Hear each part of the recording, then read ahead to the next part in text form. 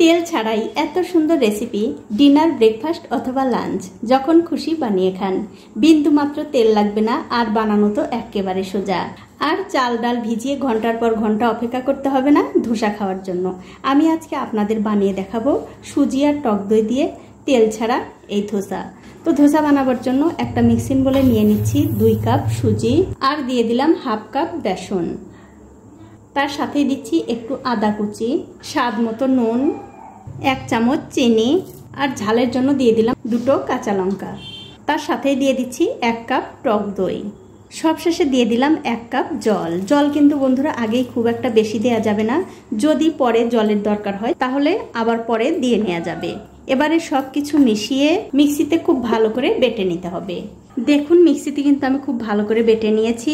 এখন এই মিশ্রণটা আমি অন্য একটা বাটিতে ঢেলে নিচ্ছি। আর দেখতেই পাচ্ছেন, এই মিশ্রণটা কিন্তু অনেকটা ঘন আছে।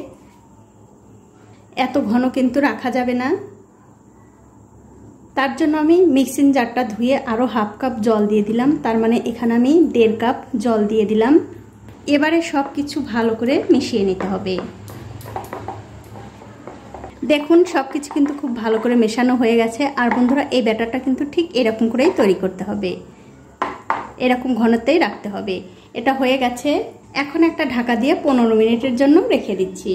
এখন আমি ধোসাটা খাওয়ার জন্য একটা নারকেলের চাটনি তৈরি করে নিচ্ছি। তার জন্য একটা মিক্সিং জারে দিয়ে দিলাম হাফ নারকেল কোড়া তার সাথে দিয়ে দিচ্ছি কিছু চীনা বাদাম ভাজা।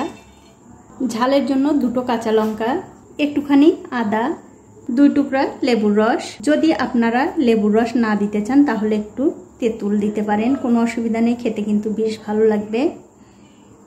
দিয়ে দিলাম স্বাদ অনুযায়ী নুন, এক চামচ চিনি, দুটো ফ্রেশ কারি পাতা। অবশ্যই কিন্তু এই কারি পাতা দেওয়ার চেষ্টা করবেন তবেই কিন্তু এই চাটনিটা খেতে বেশি ভালো লাগবে। যদি আপনাদের কাছে কারি পাতা না থাকে, সে পরিবর্তে আপনারা ধনে পাতাও দিতে পারেন। তবে কারি পাতাটা দিলে বেশি ভালো লাগবে। আর দিয়ে দিচ্ছি হাফ কাপ টক দই।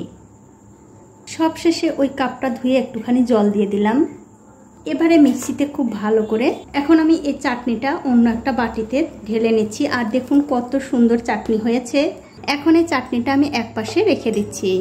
এখন একটা কড়াইতে দিয়ে দিচ্ছি একটু সাদা তেল। তেলটা যখন একটু ভালো করে গরম হয়ে আসবে তখন এর মধ্যে দিয়ে দিচ্ছি একটা শুকনো লঙ্কা।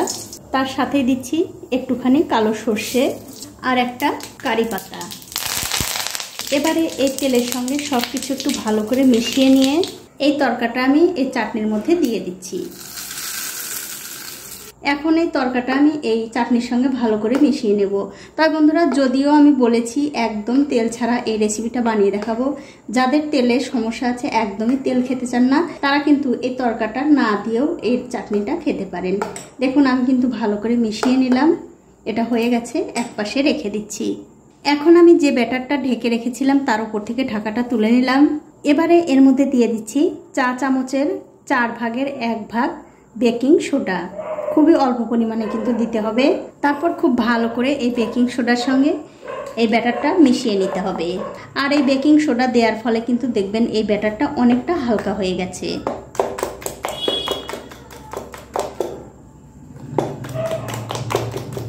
দেখুন, ব্যাটারের সঙ্গে কিন্তু বেকিং পাউডার খুব ভালো করে মিশিয়ে নিয়েছি। আর দেখতেই পাচ্ছেন, এই ব্যাটারটা কিন্তু অনেকটা ফুলে উঠেছে। তার মানে এই ব্যাটারটা ঠিকঠাক হয়েছে।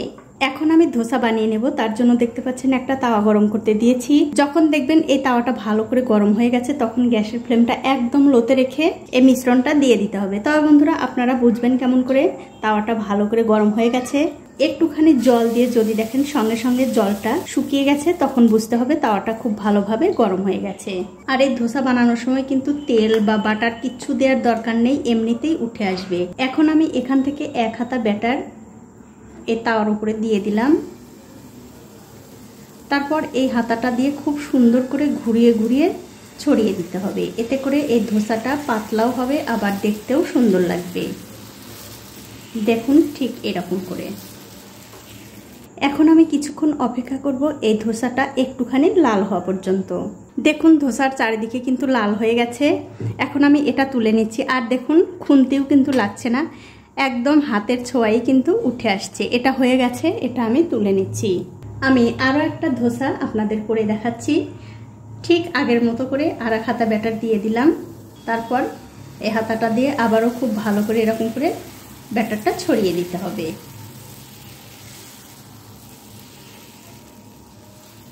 দেখুন, এই ধোসাটাও কিন্তু হয়ে গেছে। আর যখন দেখবেন হয়ে যাবে, তখন এই ধোসাগুলো একা একাই এই তাওয়া থেকে ছেড়ে আসবে। এটাও হয়ে গেছে, এটাও আমি তুলে নিচ্ছি।